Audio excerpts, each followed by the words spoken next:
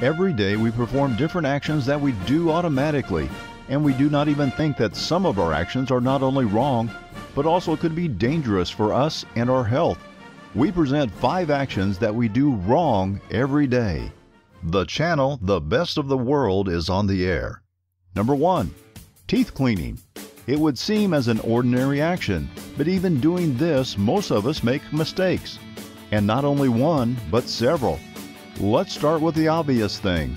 There is no need to run and clean your teeth right after eating, even though it's logical. But when brushing your teeth after a meal, you intensify the action of food and drink acids, which affect the tooth enamel, destroying it.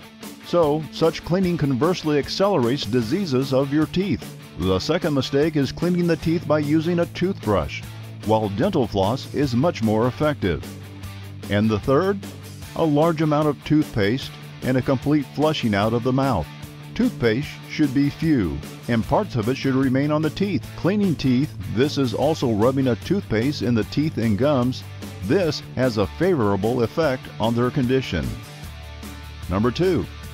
Another hygienic procedure which, as it seems at first glance, is aimed at improving human hygiene, but actually is harmful to health. It's about cleaning the ears from earwax with cotton swabs. The producer of this remedies do not recommend using cotton swabs to clean the ear, as well as doctors.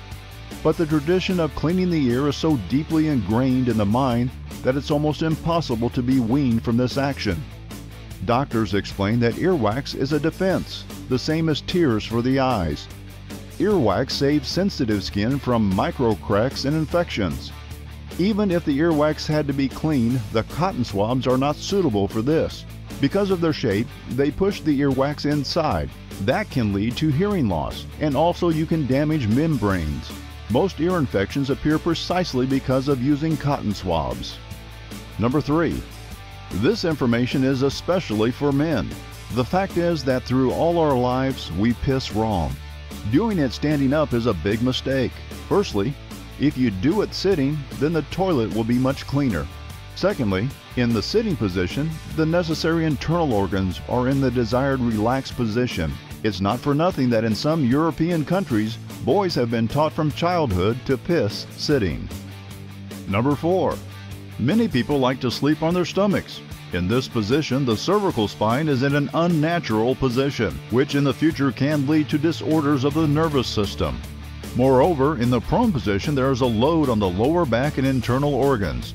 It is right to sleep lying on your back or on your side. Number 5.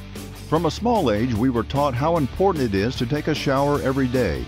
Taking a shower or a bath every day, we bring serious damage to our outer layer of skin. Hot water, soap, and abrasive surface of the sponge damage the protective layer of the skin and make us more susceptible to disease. Take a break in taking a shower. You give your skin time to recover after being damaged. And how many actions from this list you personally do incorrectly? I do three. Well, now I'll be smarter. Like it. If you like these videos and it gets 200 likes, I will post five more actions that we do in a wrong way. The rules for the drawing of the $10 are as such. Write comments, and if your comment gets the most likes until the release of the next video, then you will become the winner.